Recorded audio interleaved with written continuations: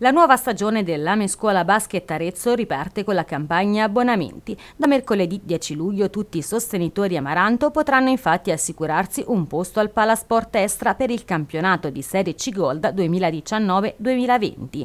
Tante le sfide da non perdersi in questa nuova avventura dove gli Amaranto potranno confrontarsi con società che hanno fatto la storia della pallacanestro italiana. Sono previsti anche due derby aretini contro la Fides Montevarchi e contro la Synergy Valdarno.